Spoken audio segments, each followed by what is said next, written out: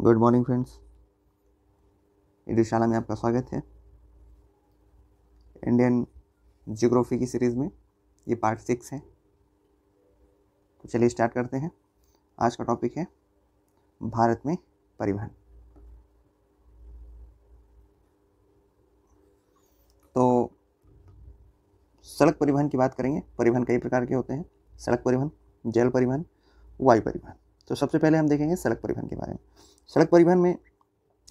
सबसे इम्पॉर्टेंट चीज़ ये है कि ये विश्व का दूसरा सबसे बड़ा सड़क नेटवर्क है भारत और ये भारत का लगभग 58.98 लाख किलोमीटर सड़क नेटवर्क से जुड़ा हुआ है जिसे राष्ट्रीय राजमार्ग राज्य मार्ग और अन्य सड़कों में शामिल किया जाता है अब देखते हैं राष्ट्रीय राजमार्ग के बारे में इसके निर्माण और प्रबंधन तथा रख रखाव की जिम्मेदारी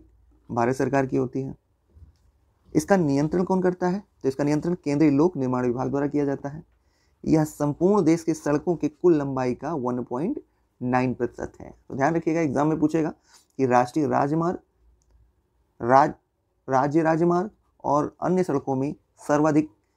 सघनता किसकी है तो आपको ये नहीं बताना है कि राष्ट्रीय राजमार्ग की है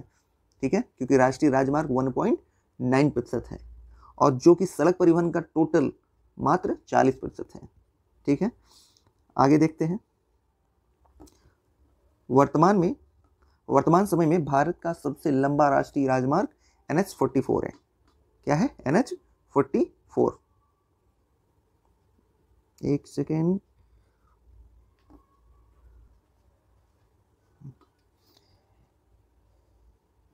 इस हाईवे का पुराना नाम एन एच सेवन था यह राजमार्ग भारत के उत्तर श्रीनगर जम्मू कश्मीर से भारत के दक्षिणी छोर कन्याकुमारी तमिलनाडु तक जाता है यह राष्ट्रीय राजमार्ग की लंबाई इस राष्ट्रीय राजमार्ग की लंबाई टोटल कितनी है तो सैंतीस किलोमीटर है यह राजमार्ग जम्मू कश्मीर से शुरू होकर पंजाब हरियाणा दिल्ली उत्तर प्रदेश मध्य प्रदेश महाराष्ट्र तेलंगाना आंध्र प्रदेश कर्नाटका से गुजरते हुए तमिलनाडु तक पहुंच जाता है यह सभी राज्य क्रम से दिए हुए हैं तो ध्यान रखिएगा राष्ट्रीय राजमार्ग 44 में निम्नलिखित राष्ट्रीय राजमार्ग 44 में निम्न पुराने राष्ट्रीय राजमार्गों को शामिल किया गया है कौन कौन से एन एच वन ए ये श्रीनगर से पंजाब को जोड़ता है एन एच वन ये पंजाब को हरियाणा और दिल्ली से जोड़ता है एन एच टू दिल्ली से आगरा तक जाता है एन एच थ्री ये आगरा से ग्वालियर तक जाता है कमेंट करके बताइए कि ग्वालियर कहाँ है N H seventy five N ये ग्वालियर से झांसी जाता है एन एच सेवन ये झांसी से नागपुर निज़ामाबाद हैदराबाद बंगलुरु मदुरै जैसे शहरों से कन्याकुमारी तक जाता है पुराना राष्ट्रीय राजमार्ग संख्या वन और टू को सम्मिलित रूप से ग्राउंड टंक रोड या जीटी रोड कहते हैं अब कुछ नोटिस है देख लेते हैं क्या है note zero milestone British द्वारा नागपुर में स्थापित किया गया है क्या जीरो माइल स्टोन नागपुर में स्थापित किया गया है किसने स्थापित किया है तो ब्रिटिशों ने स्थापित किया है इसका प्रयोग सभी दूरियों को नापने के लिए करते हैं आगे देखते हैं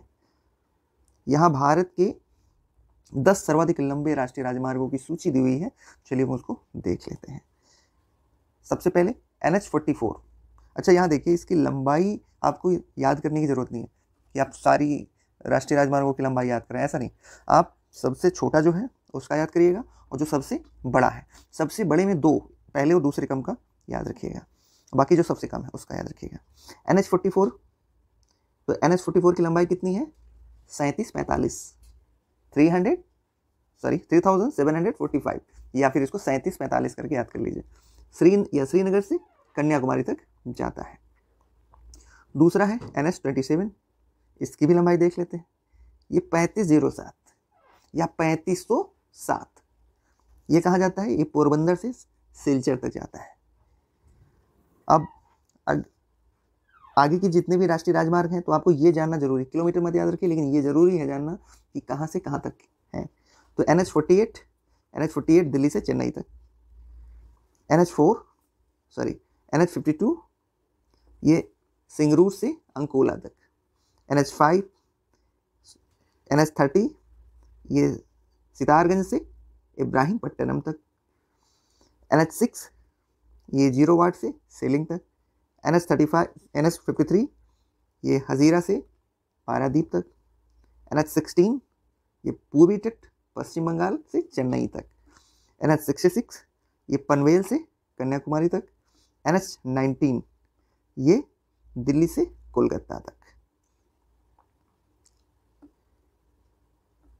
एन एच फोर्टी फोर जिसका पुराना नाम एन एच वन ए था में जवाहर सुरंग स्थित है ध्यान रखिए कई बार पूछता है जवाहर सुरंग कहाँ स्थित है तो ये ध्यान रखिए एन एच वन ए या फिर एन एच फोर्टी फोर दो में से कोई ऑप्शन यह राजमार्ग जालंधर से जम्मू व श्रीनगर होते हुए उरी तक जाता है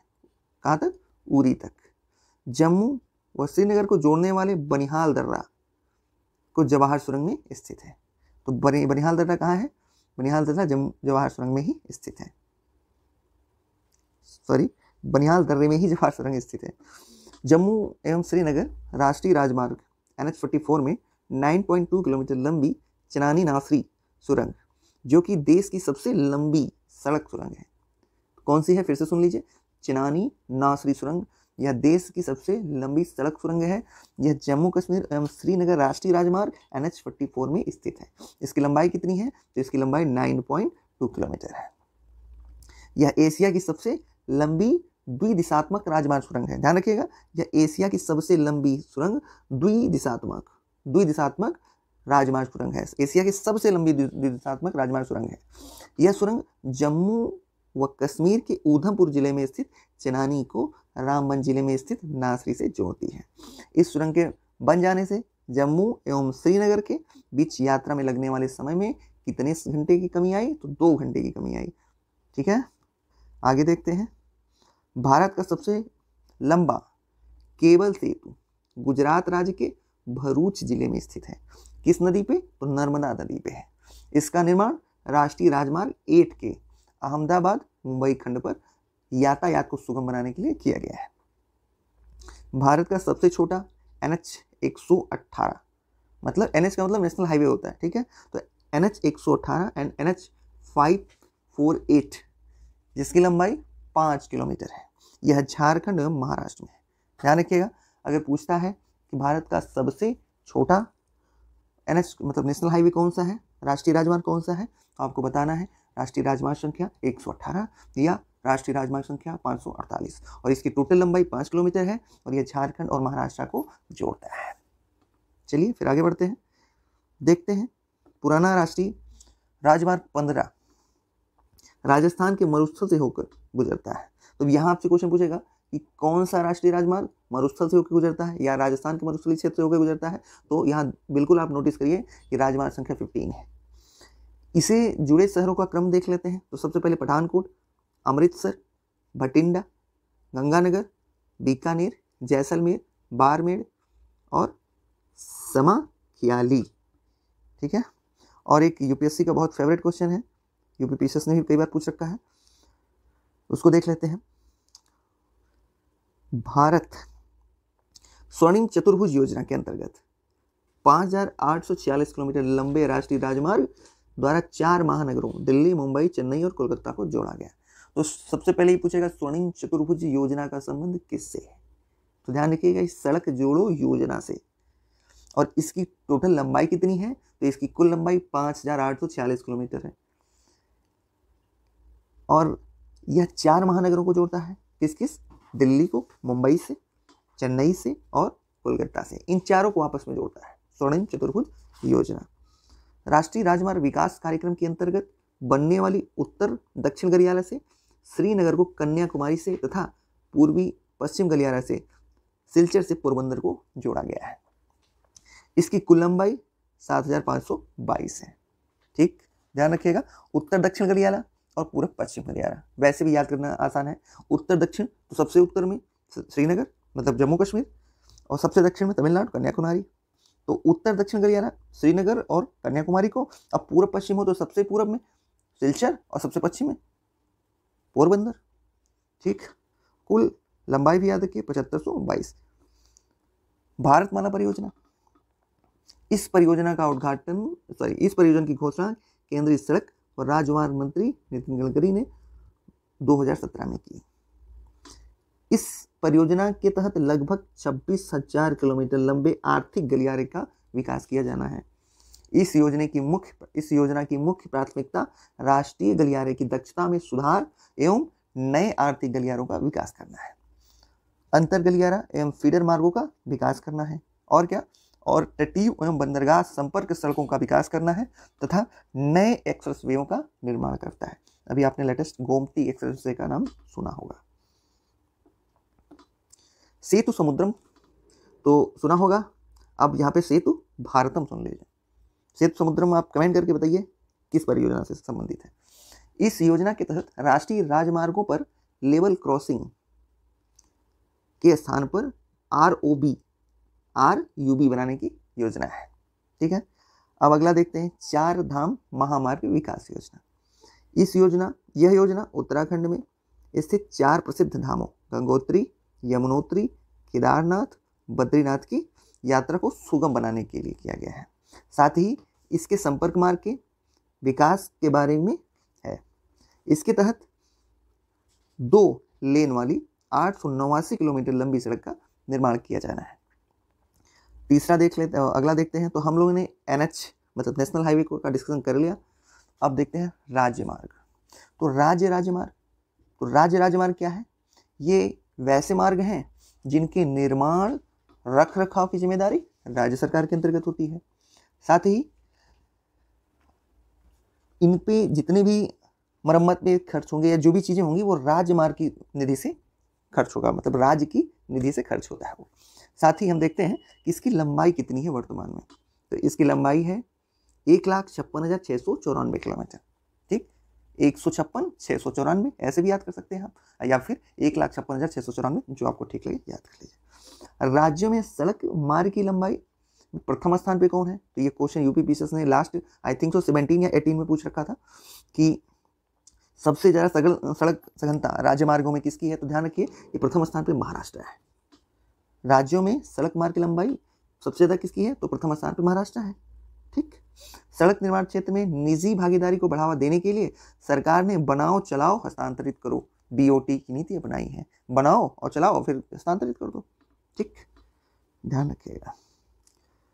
माल परिवहन का लगभग पैंसठ प्रतिशत और यात्री परिवहन का लगभग अस्सी प्रतिशत सड़कों को ही होता है तो ध्यान रखिए जितनी भी ट्रांसपोर्टेशन है माल के उनमें अगर 100 परसेंट हो रहे हैं तो इनमें से 65 परसेंट ट्रांसपोर्टेशन माल का वस्तुओं का अभी भी सड़कों से ही होता है इसीलिए ये भी एक कारण है जिसकी वजह से हमारी कॉस्ट प्राइस बढ़ जाती है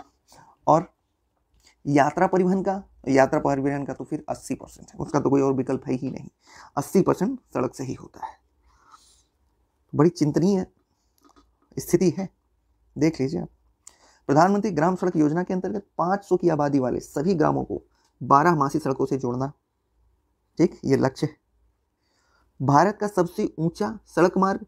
ये बहुत इंपॉर्टेंट ध्यान रखिएगा भारत का सबसे ऊंचा सड़क मार्ग लेह श्रीनगर मार्ग है जो काराकोरम दर्रों को पार करता है इसकी ऊंचाई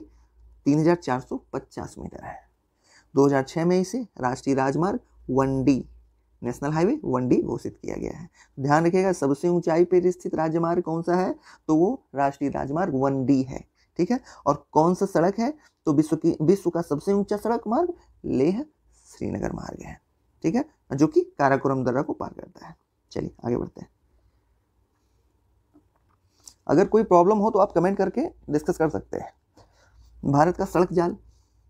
ये 2020 के आंकड़ों के अनुसार देख लेते हैं राष्ट्रीय राजमार्ग एक लाख बत्तीस हज़ार पाँच सौ किलोमीटर है ठीक है और कुल सड़क का दो प्रतिशत ठीक है और राज्य राजमार्ग देखते हैं तो राज्यों के राजमार्ग में एक लाख छप्पन हज़ार छः सौ चौरानवे किलोमीटर और ये तीन प्रतिशत है अन्य सड़कें छप्पन लाख आठ हज़ार चार सौ सतहत्तर किलोमीटर है और ये पंचानवे प्रतिशत है हमने आपको अभी पहले ही बताया था कि अगर पूछता है सड़क सघनता के बारे में और ऑप्शन में राष्ट्रीय राजमार्ग और राज्यमार्ग दिया जाता है और अन्य सड़कें दी होती हैं छोटी सड़कें दी होती हैं तो आप यही समझ के चलिए कि राज्यमार्ग राष्ट्रीय राजमार्ग मतलब नेशनल हाईवे सबसे कम है उसके बाद राज्यों के राजमार्ग का स्थान आएगा फिर उसके बाद अन्य सड़कें या छोटी सड़कों का स्थान आएगा तो सबसे पहले सबसे ज़्यादा सघनता किसकी होगी छोटी सड़कों की ठीक है ना ध्यान रखिएगा ये सब पॉइंट पर करने वाली बातें हैं भारत दुनिया का दूसरा सबसे बड़ा सड़क नेटवर्क वाला देश है ध्यान रखिएगा दूसरा तो फिर एक प्रश्न बनता है पहला कौन है कमेंट करके बताइए कि दुनिया का पहला सड़क सघनता वाला देश कौन सा है चलिए आगे बढ़ते हैं सीमावर्ती सड़कों का निर्माण एवं प्रबंधन सीमा सड़क विकास बोर्ड द्वारा किया जाता है सीमा सड़क संगठन की स्थापना 1960 में हुई थी अपने गठन के समय से ही सॉरी अपने गठन के समय से लेकर मार्च 2001 तक इसने उनतीस किलोमीटर लंबी सड़कों का निर्माण कर दिया वह चौंतीस किलोमीटर पक्की सड़कों को पक, लंबी सड़कों को पक्का करने का कार्य पूरा किया गया यह सक,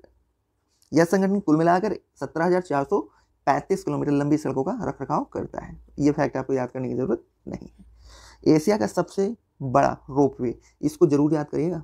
एशिया का सबसे बड़ा रोप वे रज्जू मार्ग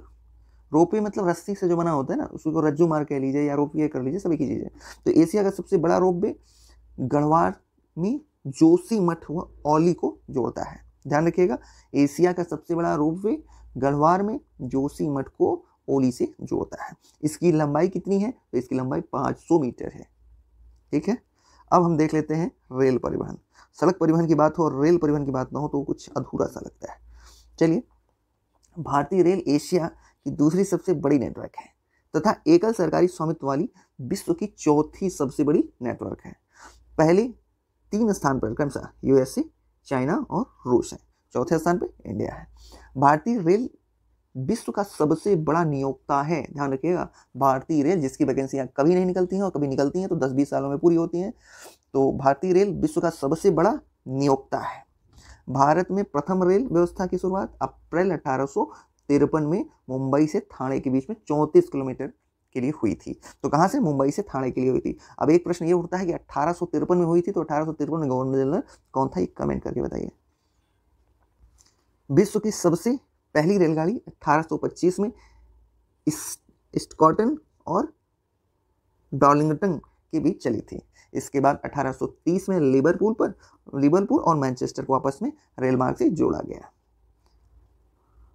भारतीय रेलवे बोर्ड की स्थापना 1905 में की गई थी पाँच में कौन था गवर्नर जनरल ये भी ध्यान रखिए भारतीय रेलवे बोर्ड की स्थापना 1905 में की गई थी रेल वित्त को 24-25 में एडवर्ट कमेटी ये कमेटी ध्यान रखिएगा एडवर्ट कमेटी की सिफारिश पर सामान्य राजस्व से अलग कर दिया गया था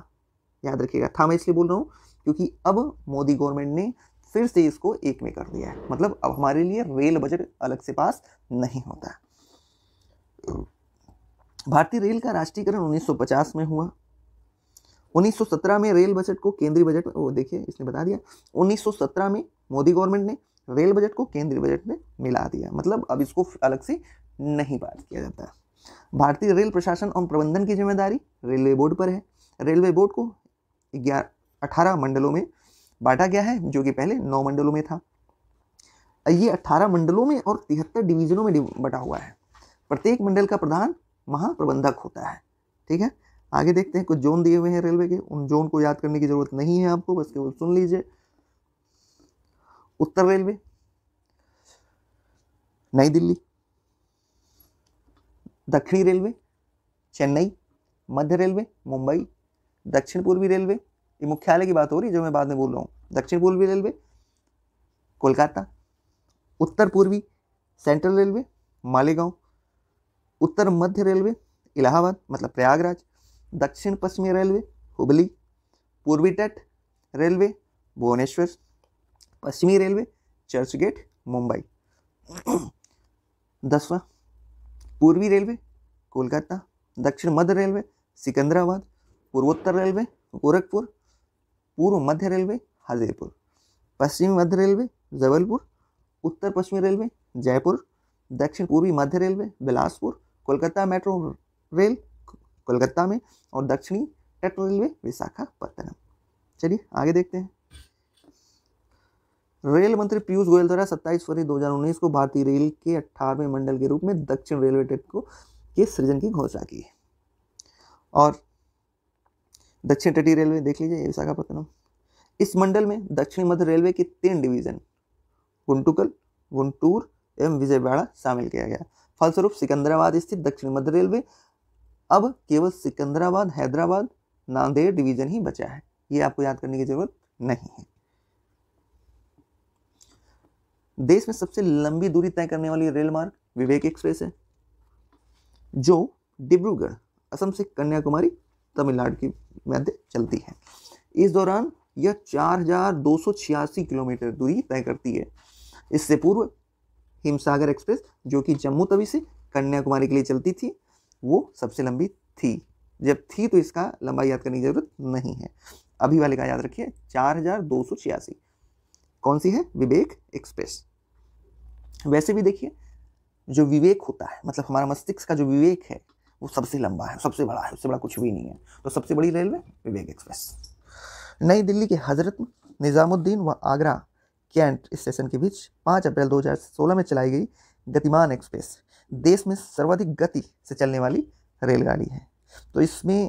तीन फैक्ट्स हैं सबसे पहली सबसे तेज चलने वाली मतलब सर्वाधिक गति वाली ट्रेन कौन सी है तो गतिमान एक्सप्रेस है और दूसरा चीज इसका कहाँ से चलाया गया था तो हजरत निजामुद्दीन से आगरा कैंट के बीच ठीक है आगे देखते हैं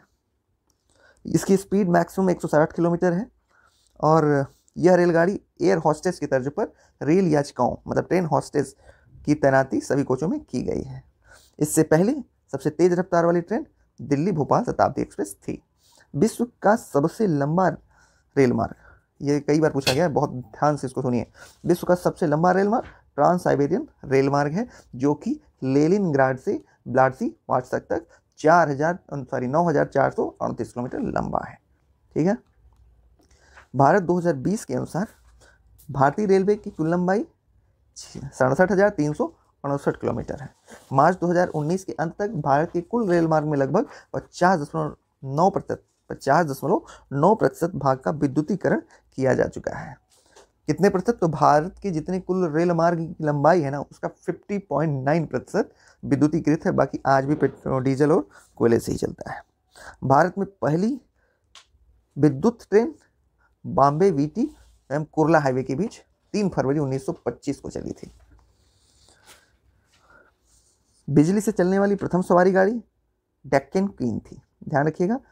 बिजली से चलने वाली प्रथम सवारी गाड़ी डेक्कन क्वीन थी जो मुंबई एवं पुणे के मध्य चली थी कब चली थी याद करने की जरूरत नहीं लेकिन जान लीजिए उन्नीस में थी कार्यरत विश्व का सबसे पुराना भाप इंजन फेरी क्वीन जो कि अभी भी कार्यरत है विश्व का सबसे पुराना भाप इंजन है और इसका नाम है फेरी क्वीन एक मार्च उन्नीस को पहली राजधानी एक्सप्रेस रेलगाड़ी नई दिल्ली और हावड़ा के बीच चली थी भारत और पाकिस्तान के बीच चलने वाली समझौता एक्सप्रेस लाहौर अटारी के मध्य थार एक्सप्रेस मुनाबाओ खोखरा पार के मध्य चलती है 14 अप्रैल 2008 को मैत्री एक्सप्रेस चितरपुर ढाका के बीच चलाई गई एक अगस्त उन्नीस को रेलगाड़ी बीमा योजना लागू की गई कोंकण रेलवे महाराष्ट्र के रोहा से प्रारंभ होकर गोवा के मडगांव तक जाती है कोंकण रेलवे कहाँ तक जाती है तो कोंकण रेलवे महाराष्ट्र के रोहा से प्रारंभ होकर गोवा के मडगांव तक इसकी ट्रैक की लंबाई सात हज़ार सात सौ इकतालीस किलोमीटर ये सब याद करने की जरूरत नहीं है इस रेल मार्ग पर पहली बार रेलवे परिचालन 26 जनवरी उन्नीस को हुआ था इस रेल मार्ग से लाभान्वित होने वाले राज्य महाराष्ट्र गोवा कर्नाटक और केरल है ये जरूर याद रखिएगा इन पूरी लाइन में यही एक फैक्ट इंपॉर्टेंट है कि कोंकण रेलवे के से कौन कौन से जुड़े हुए हैं तो ये महाराष्ट्र गोवा कर्नाटक और केरल एक पूरी सीध में जुड़े हुए हैं एन सी आर टी दो हज़ार बारह भारत लोग और अर्थव्यवस्था पेज नंबर एक सौ उन्नीस के अनुसार कोंकण रेलवे की लंबाई सात सौ साठ किलोमीटर है जो कि कोई यूजफुल नहीं है यह रेल मार्ग एक सौ छियालीस नदियों धाराओं और दो हज़ार पुलों इक्यानवे सुरंगों को पार करते हैं करता है इस मार्ग पर सबसे लंबी सुरंग की लंबाई छः दशमलव पाँच किलोमीटर इस उधम में कर्नाटक गोया महाराष्ट्र राज्य भागीदार है फालतू का फैक्ट चलिए देखते हैं कोलकाता मेट्रो रेल इसकी शुरुआत उन्नीस सौ बहत्तर में हुई उन और इसकी योजना परियोजना चालू पचहत्तर में हुई और दमदम से पहली कहाँ से चली दमदम से टॉलीगंज तक इस भूमिगत रेलवे की कुल लंबाई सोलह दशमलव पैंतालीस किलोमीटर है कोलकाता मेट्रो रेल की शुरुआत चौबीस अक्टूबर उन्नीस सौ चौरासी को हुई ठीक है दिल्ली मेट्रो रेल इस यह परियोजना जापान और कोरिया कंपनियों के सहयोग से बनाई गई इसके अंतर्गत सबसे पहली रेल सेवा 25 दिसंबर 2002 को तीस हजारी से सहादरा तक के बीच चलाई गई बंगलुरु मेट्रो रेल देखते हैं इसकी शुरुआत 20 अक्टूबर 2011 को नम्मा मेट्रो के नाम से शुरू की गई इसके ढांचागत सुविधाओं का विकास जापान के सहयोग से किया गया है मुंबई मेट्रो रेल 8 जून 2014 मुंबई में मोनो रेल स्वतंत्र भारत में ये मोनो लिखा है मेमो होता है स्वतंत्र भारत में मोनो रेल सर्वप्रथम मुंबई में संचालित की गई जहाँ इसका शुभारंभ महाराष्ट्र के मुख्यमंत्री पृथ्वीराज चौहान ने एक फरवरी 2014 को किया संपूर्ण परियोजना जिसकी लंबाई उन्नीस दशमलव सत्रह किलोमीटर है शुरू होने पर यह विश्व की सब दूसरी सबसे दूरी वाली मोनो रेल परियोजना हो जाएगी ये फैक्ट याद रखिएगा उन्नीस दशमलव सत्रह किलोमीटर है इस मोनो ट्रेन की लंबाई और यह विश्व की दूसरी सर्वाधिक लंबी मोनोरेल हो जाएगी इस संबंध में जापान का पहला जापान का तेईस दशमलव आठ किलोमीटर लंबा ओसाका मोनोरेल कॉरिडोर सबसे लंबा है सोलह दशमलव नौ किलोमीटर लंबे टोक्यो कॉरिडोर का वर्तमान में दूसरा स्थान है और जब उन्नीस हो जाएगा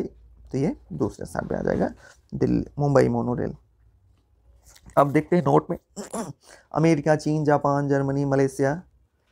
ऑस्ट्रेलिया के पश्चात भारत विश्व में सातवां देश हो गया है कहाँ क्या हो गया ये जहाँ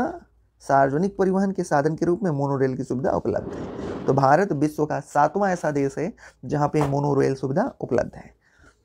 जयपुर चेन्नई लखनऊ में भी मेट्रो रेल सेवा शुरू हो गई चंडीगढ़ भोपाल गुवाहाटी पुणे आदि शहरों में भी मेट्रो रेल सेवा निर्माणाधीन है तो आपसे ये क्वेश्चन पूछा जा सकता है कि कौन कौन सी मेट्रो रेल सेवा कहाँ कहाँ चालू हैं तो आप ये तीन याद रखिएगा ये पूछ सकता है जयपुर चेन्नई और लखनऊ यहाँ मेट्रो रेल सेवा ने कार्य करना शुरू कर दिया है विश्व की पहली मेट्रो रेल लंदन में चली इसकी शुरुआत उन्नीस में हुई थी यह विश्व की दूसरी सबसे लंबी मेट्रो ट्रेन है इसकी लंबाई 402 किलोमीटर है चीन की संघाई मेट्रो विश्व की सबसे लंबी मेट्रो ट्रेन है इसकी कुल लंबाई चार किलोमीटर है रेल इंजन का निर्माण कारखाने देख लेते हैं चितरंजन वाराणसी भोपाल में स्थित है ठीक है रेल निर्माण के कारखाने कहाँ कहाँ हैं तो चितरंजन वाराणसी और भोपाल में है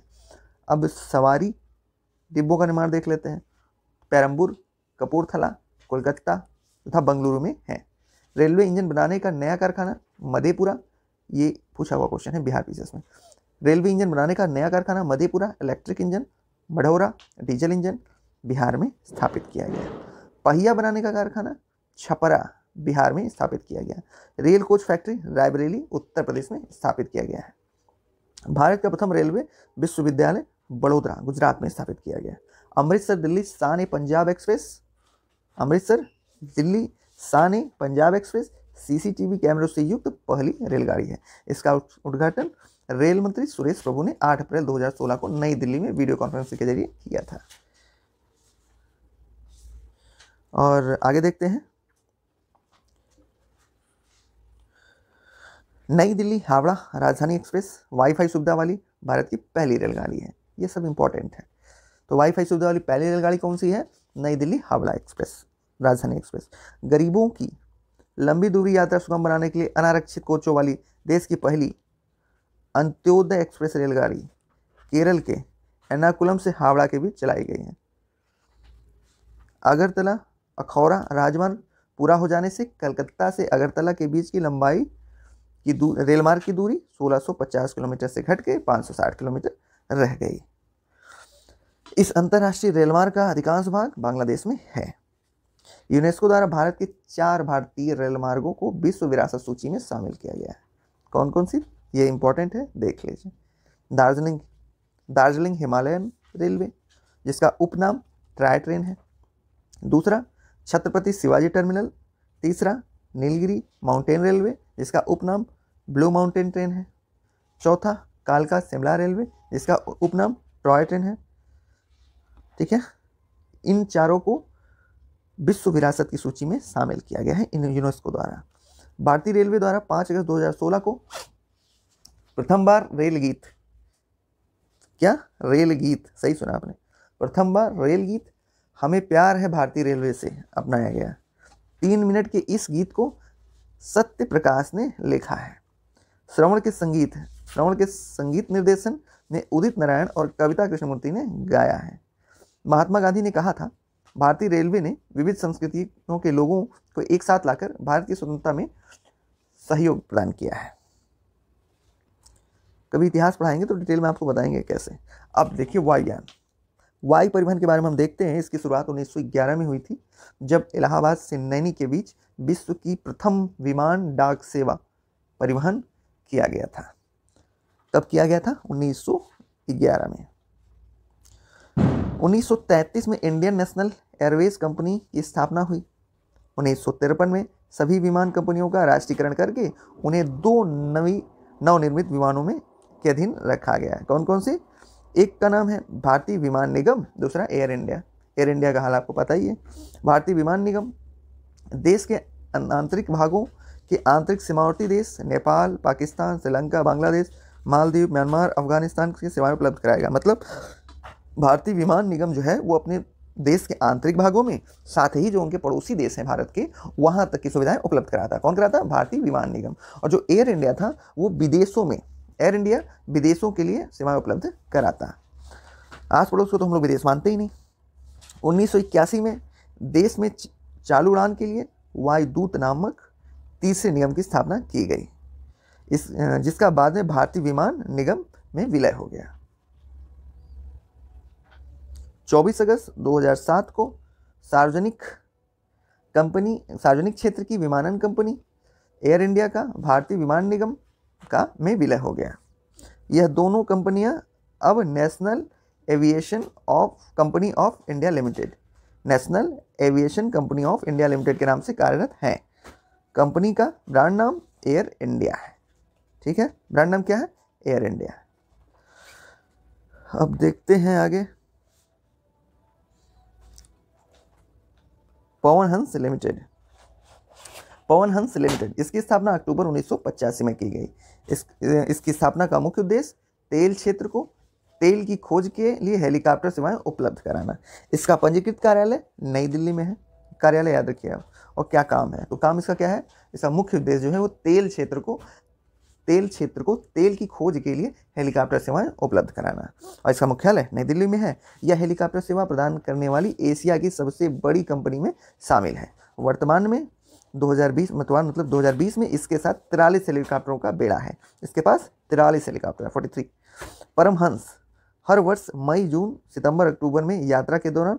फादा से केदारनाथ तक हेलीकॉप्टर सेवाएं उपलब्ध कराती है इंदिरा गांधी राष्ट्रीय उड़ान अकादमी की स्थापना देश में कॉमर्शियल पायलटों के उड़ान ग्राउंड प्रशिक्षण के स्तर में सुधार के लिए रायबरेली उत्तर प्रदेश में फुर्सतगंज में की गई थी राजीव गांधी राष्ट्रीय विमानन विश्वविद्यालय की स्थापना फुर्सतगंज में ही की गई भारतीय विमानपत्तनम प्राधिकरण का गठन ये ध्यान रखिएगा भारतीय विमान विमानपत्तनम प्राधिकरण का गठन एक अप्रैल उन्नीस को किया गया प्राधिकरण देश में अंतर्राष्ट्रीय हवाई अड्डों घरेलू हवाई अड्डों नागरिक विमान टर्मिनलों का प्रबंधन करता है चलिए अब कुछ अंतर्राष्ट्रीय हवाई अड्डे और उनकी स्थिति देख लेते हैं तो इंदिरा गांधी अंतर्राष्ट्रीय हवाई अड्डा नई दिल्ली अभी आपके लिए एक प्रश्न है बताइए कि नई दिल्ली में जो स्थित है इंदिरा गांधी अंतर्राष्ट्रीय हवाई अड्डा ये सुर्खियों में था तो आप बताइए क्यों था करेंट तो पढ़ाई होगा इंदिरा गांधी अंतर्राष्ट्रीय हवाई अड्डा नई दिल्ली छत्रपति शिवाजी अंतर्राष्ट्रीय हवाई अड्डा मुंबई नेताजी सुभाष चंद्र बोस अंतर्राष्ट्रीय हवाई अड्डा कहाँ है तो कोलकाता में है अन्ना अंतर्राष्ट्रीय हवाई अड्डा चेन्नई में बाबा साहब अम्बेडकर अंतर्राष्ट्रीय हवाई अड्डा नागपुर में सरदार वल्लभ भाई पटेल अंतर्राष्ट्रीय हवाई अड्डा अहमदाबाद देखिए याद करना बहुत आसान है आपको मैं तरीका बताता हूँ इसका ध्यान रखिए जो व्यक्ति ना जिससे जुड़ा है वहीं पे उसके नाम पे रखा गया है अभी देखिए पहला इंदिरा गांधी था तो इंदिरा गांधी जी क्या थी प्रधानमंत्री कहाँ थी नई दिल्ली में छत्रपति शिवाजी कहाँ से संबंधित हैं महाराष्ट्र मुंबई से सुभाष चंद्र बोस कहाँ संबंधित थे कोलकाता से अन्ना अंतर्राष्ट्रीय हवाई अड्डा कहाँ से चेन्नई से अन्ना मतलब कहाँ बोलते हैं चेन्नई साउथ में बाबा साहब अम्बेडकर अं-, अंतर्राष्ट्रीय हवाई अड्डा नागपुर सरदार वल्लभ भाई पटेल अंतर्राष्ट्रीय हवाई अड्डा सरदार वल्लभ भाई कहाँ से गुजरात से संबंधित है मतलब अहमदाबाद गोपीनाथ बारडोली अंतर्राष्ट्रीय हवाई अड्डा गुवाहाटी चौधरी चरण सिंह अंतर्राष्ट्रीय हवाई अड्डा लखनऊ सब जुड़े हुए हैं आप जब पढ़िए तो उसको की से जोड़िए लिंक जोड़िए अपने आप याद रहेंगी चीज़ें श्री गुरु रामदास जी अंतर्राष्ट्रीय हवाई अड्डा अमृतसर त्रिवेंद्रम अंतर्राष्ट्रीय हवाई अड्डा तिरुवनंतपुरम कालीकट अंतर्राष्ट्रीय हवाई अड्डा कोझीकोंड राजीव गांधी अंतर्राष्ट्रीय हवाई अड्डा कोच्चि वीर सावरकर अंतर्राष्ट्रीय हवाई अड्डा पोर्ट ब्लेयर दाबोलिम अंतर्राष्ट्रीय हवाई अड्डा गोवा कैंपागोड़ा अंतर्राष्ट्रीय हवाई अड्डा बेंगलुरु मंगलुरु अंतर्राष्ट्रीय हवाई अड्डा मंगलुरु में है और देवी अहिल्या अंतर्राष्ट्रीय देवी अहिल्या होलकर अंतर्राष्ट्रीय हवाई अड्डा इंदौलकर और इंदौर में है जयपुर अंतर्राष्ट्रीय हवाई अड्डा जयपुर में और कोयम्बटूर अंतर्राष्ट्रीय हवाई अड्डा कोयम्बटूर में तो अंतर्राष्ट्रीय हवाई अड्डा वारा त्रिचुरापल्ली में और लाल बहादुर शास्त्री अंतर्राष्ट्रीय हवाई अड्डा वाराणसी में ठीक है अब हम जल परिवहन की बात कर लेते हैं जो कि काफ़ी ज़रूरी है केंद्रीय अं-, अंतर्देशीय जलमार्ग प्राधिकरण की स्थापना उन्नीस में हुई थी इसका मुख्यालय कोलकाता में है देश के जलमार्ग को दो भागों में बांटा गया है एक तो आंतरिक जलमार्ग और दूसरा सामुद्रिक जलमार्ग अब आंतरिक जलमार्ग देख लेते हैं यह परिवहन नदियों नहरों और झीलों के द्वारा जोड़ा गया है आपस में इसमें देखिए कई सारी हैं तो जो सबसे बड़ा है उसी को बता दिया है इसने हल्दिया से इलाहाबाद तक राजमार्ग को बाईस अक्टूबर उन्नीस को राष्ट्रीय राजमार्ग संख्या वन घोषित किया गया तो राष्ट्रीय राजमार्ग संख्या वन कहाँ से कहाँ तक के लिए टोटल छः सात हैं अभी आगे हम आपको बताएंगे राष्ट्रीय राजमार्ग संख्या वन हल्दिया से इलाहाबाद तक के लिए ठीक है आगे देखते हैं सामुद्रिक जलमार्ग इस दृष्टि से भारत का संपूर्ण प्रायद्वीपीय तटीय भाग काफ़ी महत्वपूर्ण भूमिका निभाता है देश की मुख्य भूमिका 560 किलोमीटर लंबी तटरेखा पर 13 बड़े और एक छोटे मझोले बंदरगाह स्थित हैं भारत में 111 राष्ट्रीय जलमार्ग हैं ठीक है भारत में 111 राष्ट्रीय जलमार्ग हैं अब चलिए देख लेते हैं यहाँ पे छह नेशनल वाटरवे एन डब्ल्यू का मतलब national waterway national waterway one ये इलाहाबाद से हल्दिया इसकी लंबाई सर्वाधिक है देखिए सोलह सौ बीस सबसे बड़ा है और सबसे छोटा जो हो उसको याद करिए सबसे छोटा कौन सा है सबसे छोटा है N H sorry N W six national waterway six ये लखीमपुर से खागा तक 121 किलोमीटर और ये भी प्रस्तावित है ठीक है तो एन डब्ल्यू सिक्स सबसे छोटा एन डब्ल्यू वन सबसे बड़ा अब चलिए सबको देख लेते हैं बारी वाली तो इन दोनों का याद करना है आपको 1620 और 121 बाकी और केवल कहाँ से कहाँ तक है ये देख लेते हैं एन एच वन इलाहाबाद से Haldia N W two Sadiya से धुबरी सादिया से Dhubri N W three Kollam से Kottapuram N W four Kakinada से मरक्कानम और एन डब्ल्यू फाइव मतलब नेशनल वाटरवे फाइव तलचर से Dhamra national waterway six Lakhimpur से भंगा और इसकी लंबाई एक सौ इक्कीस किलोमीटर है चलिए आगे देखते हैं देश का सबसे बड़ा बंदरगाह मुंबई है बड़े बंदरगाहों का नियंत्रण केंद्र सरकार करती है जबकि छोटे बंदरगाहों का बंदरगाह संविधान की समवर्ती सूची में शामिल है जिसका प्रबंधन राज्य सरकार करती है देश का सर्वश्रेष्ठ प्राकृतिक बंदरगाह ध्यान रखिए प्राकृतिक बंदरगाह देश का सबसे बड़ा मुंबई और देश का सर्वश्रेष्ठ प्राकृतिक बंदरगाह विशाखापट्टनम यह भारत का सबसे गहरा बंदरगाह है इसमें दो फैक्ट दोनों इंपॉर्टेंट है देश का सर्वश्रेष्ठ प्राकृतिक बंदरगाह विशाखापट्टनम और देश का सबसे गहरा बंदरगाह विशाखापट्टनम इसे डाल्फिन नोच चट्टान के पीछे है यह डाल्फिन नोच चट्टान के पीछे है गुजरात स्थित कांगड़ा एक ज्वारी बंदरगाह है ये ज़रूर याद रखिएगा ये तीनों चारों फैक्ट्स बहुत इंपॉर्टेंट है गुजरात स्थित कांगड़ा एक ज्वारी बंदरगाह है यह मुक्त व्यापार क्षेत्र वाला बंदरगाह है आईटीसी जेट भारत के प्रमुख बंदरगाह बड़े बंदरगाह देख लेते हैं